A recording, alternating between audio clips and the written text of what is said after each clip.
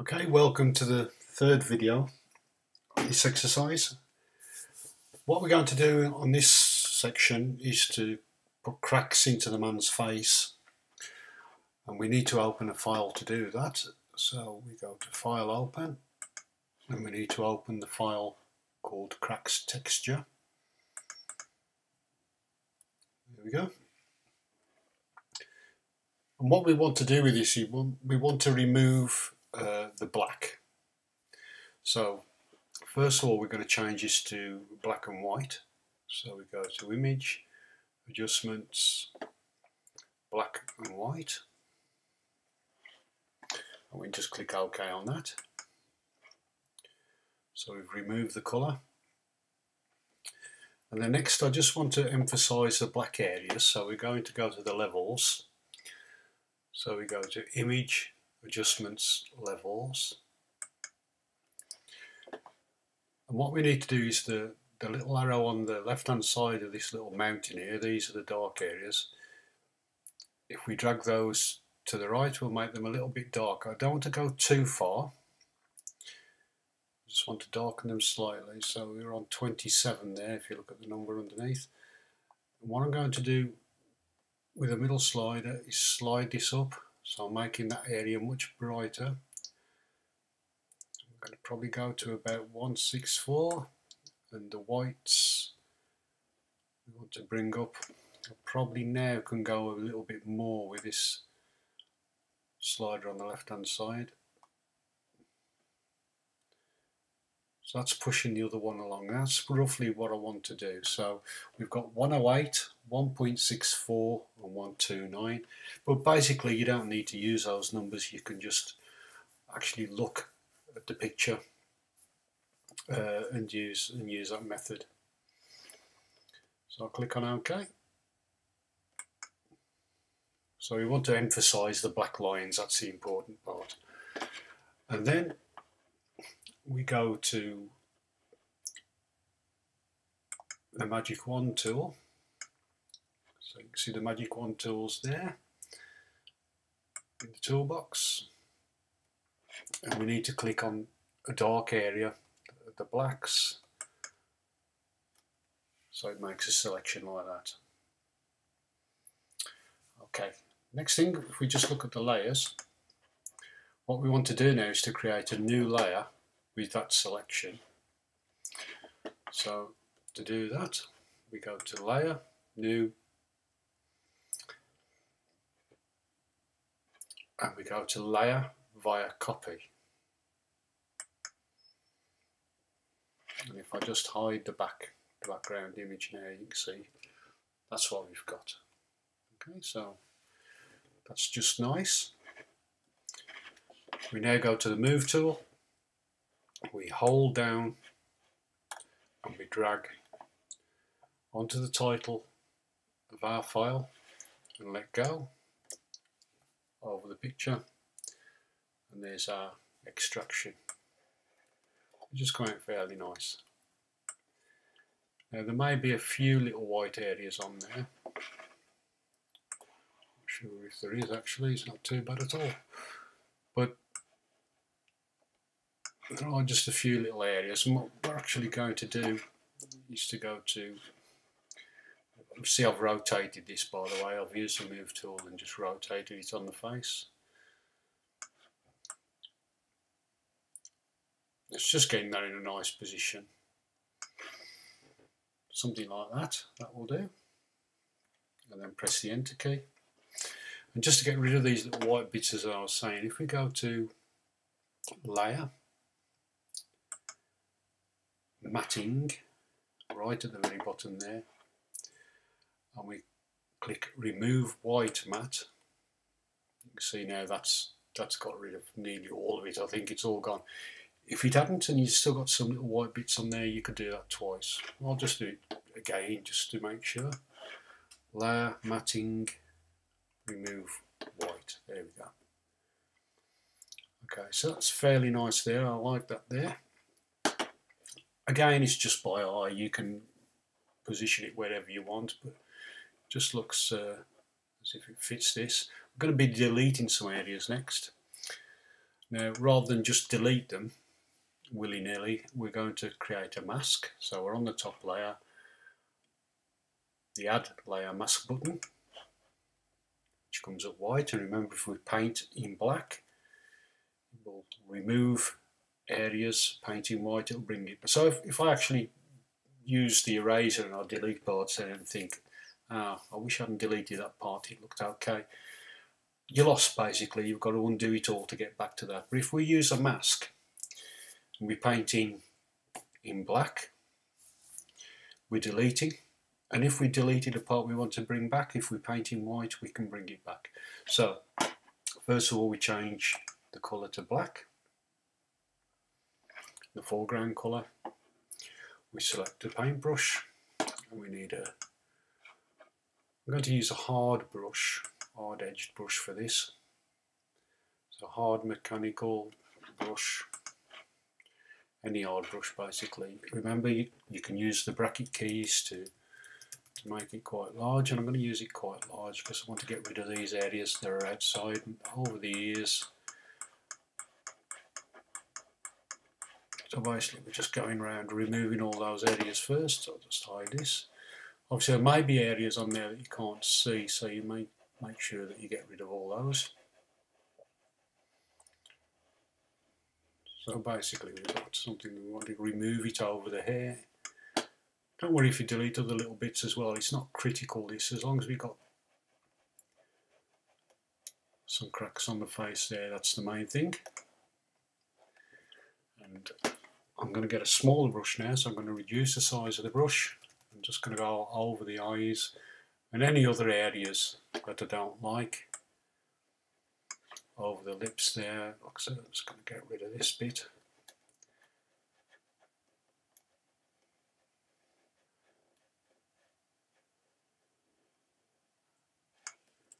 It's looking okay. Just this part up here where we're going into the air.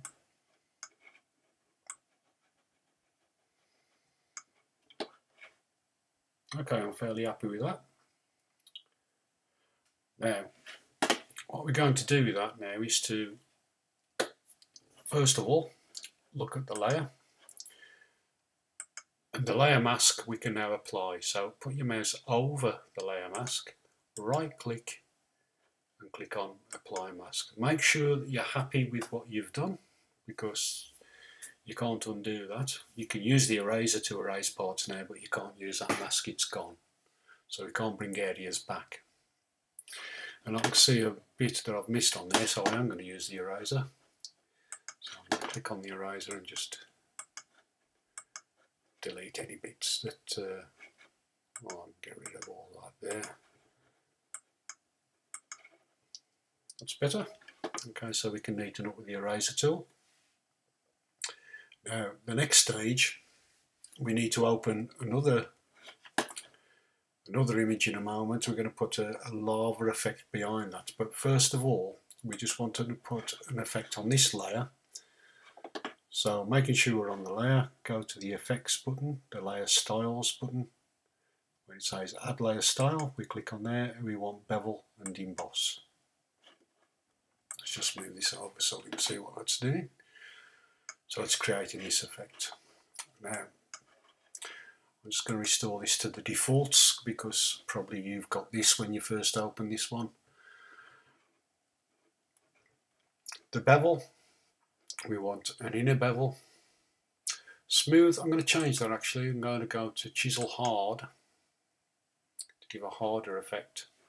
I want the direction to be down and the depth we can bring up fairly high. So I'm going to bring that up to about 780, something like that. Yeah. You're just doing this by the eye really, so you haven't got to worry too much about that. I want the reflection, the light area to be on this side. You see the light of, side of the face there is on that side. So by clicking on the angle there, you can change the angle so that it's coming from this side. That's it. So the light is coming from the right hand side and it's highlighted on that area. The highlight mode should be on screen. We don't need to change any of that. Uh, the opacities on both of those are okay. So we just need to click on OK now.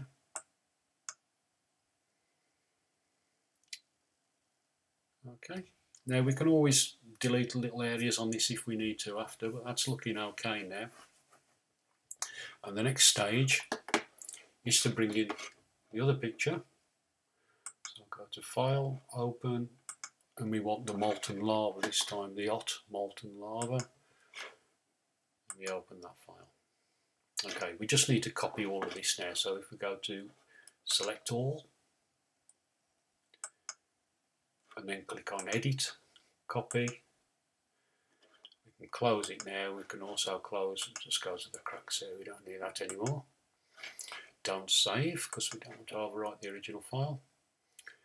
Okay, so back to here now, and we just going to make sure, I'm going to click on the the face of the man there, because we want we want to bring this in behind this top layer. So when I go to the middle layer there, and I click on Edit Paste, the lava comes in between the face and the actual cracks that we've produced there. Again, I'll click on the Move tool. We're going to move this over the face and just resize it so it covers covers the face. And I want to position it in an area where, if you look, there's quite a bit of yellow in this area up there, so, and I want that to be sort of over a lot of these cracks that we've got above there. So try and position it so you've got some of it going over this position, and probably more so on the left-hand side of the cracks. Okay, that's looking okay. Just bring it up slightly, I think. I might actually flip this round, so I'm going to drag that over to there and drag this that way. So it's now around the other way and I can get some of these yellow areas over the cracks there on this side of the image which is where I really want them. Okay, that's looking okay. So I'm just going to press the enter key on the keyboard now.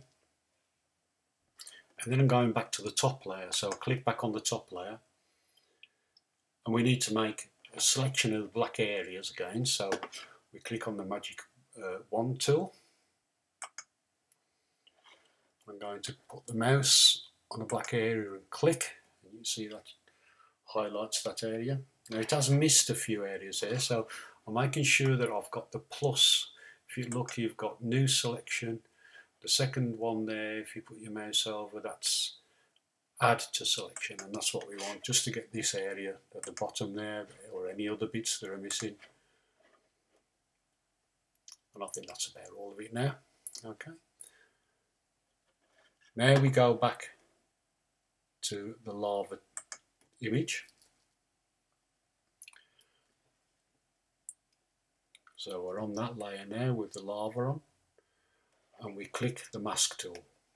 So if we go down, click the layer mask, add layer mask and we get that. So basically what we've done is we've copied that particular area that we selected and got rid of all the rest. So you can see the mask on there, the black areas have actually deleted that area. And we can apply this mask as well now just like we did before with the other layer. So we right click and click on apply layer mask. And now what I'm going to do is to click on the move tool and I'm going to let go of the mouse. I'm going to use the arrow keys on the keyboard. And I just want to move this slightly to the right so I'm going to tap the right arrow key and then down one just so we get something like that so we just it's just moving that so we can see a little bit more of that flame area, the lava. And also I might change the layer mode. So where it says normal there, let's just have a look what it looks like on uh, screen.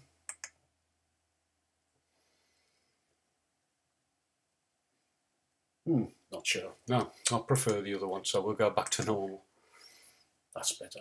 Okay, so that part's done. So we're nearly ready to go on to the, the next video now. So that completes that part of the exercise. Remember to save this now. So go to File, Save, and it will overwrite our PSD file.